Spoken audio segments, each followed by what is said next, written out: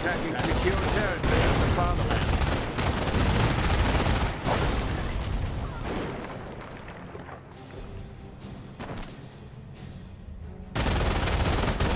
Attack.